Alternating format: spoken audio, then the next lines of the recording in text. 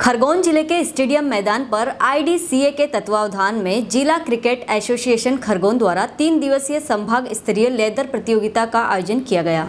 आयोजित प्रतियोगिता में इंदौर संभाग की साठ टीमों ने हिस्सा लिया।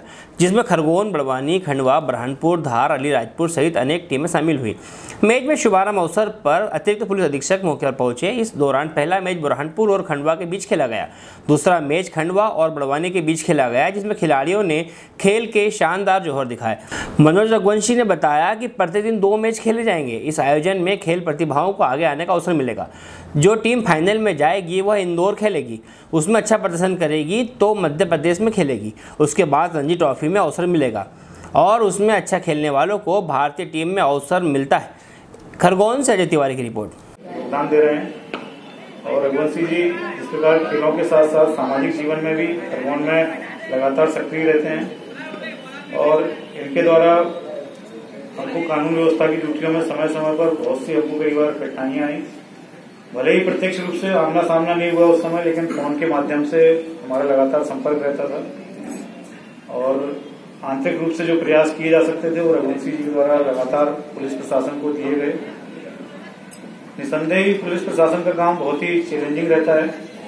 लेकिन चैलेंजिंग रहते रहते जब यहाँ के जो सम्मानीय सदस्य होते हैं, सामाजिक लोग होते हैं, उनकी भूमिका जो पर्दे के पीछे हम लोगों को सहयोग देती है बहुत ही अकल्पनीय रहती है। उसको हम ही लोग समझते हैं क्योंकि हमको ये चीज़ें सामने देखने मिलती हैं। तो मैं आशा करता हूँ कि रघुवंशी जी जिस प्रकार से लगातार अभी तक हम लोगों को सहयोग देते आए पुलिस प्रशासन को, आगे भी आप लोगों का सहयोग हमको मिलता रहेगा, हमारे अधिकारियों को मिलता रहेगा। और खेल की भावना में जो आप लोगों को यहाँ उत्साहित कर रहे हैं, यहाँ के प्रतिभागियों को प्रेरित कर रहे हैं, और लगातार यहाँ टूर्नामेंट यहाँ आयोजित कर रहे हैं, इनमें खेल के प्रति जो जिज्ञासा अलग और उसको बढ़ा रहे हैं, लगातार यहाँ स्टेडियम के लिए भी आपने बहुत प्रयास किए। तो इन सबको आप लगातार बनाए रखें। और प्रदेश में हमारे खरगोन के खिलाड़ी अपना नाम कमाते रहें आपके द्वारा और आपके एसोसिएशन के द्वारा मुझे जो सम्मान और यहाँ समय दिया गया इसके लिए आप सभी लोगों का धन्यवाद। क्रिकेट डिवीज़न के तहत T twenty leather ball cricket स्पर्धा का आयोजन खरगोन में हो रहा है और यह संभागीय स्तर की प्रतियोगिता होती है, जो प्रतिवर्ष की जाती है। खरगोन में यह प्रतियोगिता आयोजन का हमें फिर मौका मिला है और यह मौका हमको इंदौर क्रिकेट डिवीज़न ने एमपीसीए के तहत दिया है।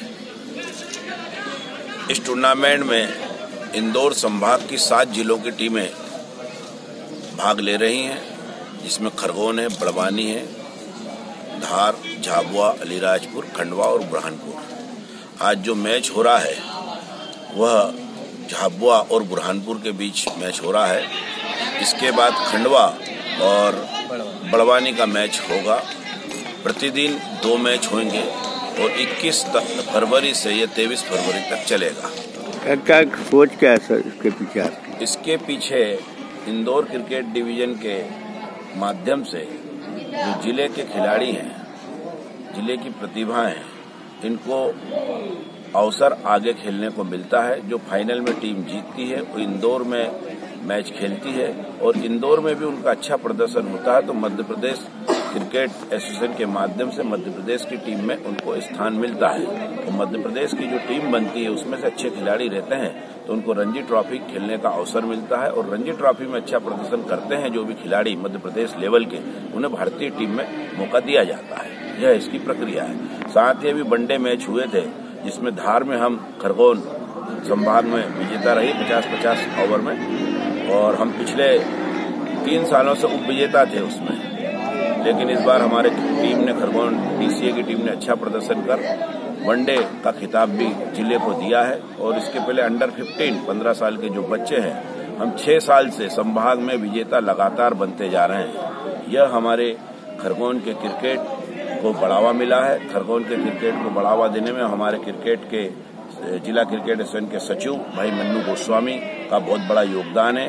वो इस मैदान पर खिलाड़ियों के पौध खिलाड़ियों को पौधे के रूप में तैयार करते हैं और इसी का परिणाम है कि अंडर 15 में हम लगातार छह साल से विजयी हो रहे हैं। और इस टूर्नामेंट में खरगोन टीम का बहुत अच्छा प्रदर्शन रहेगा और जो भी टीम इसमें भाग ले रही, सभी टीमों को मेरी ओर से बधाई, शुभकामनाएँ अच्छा खेलें।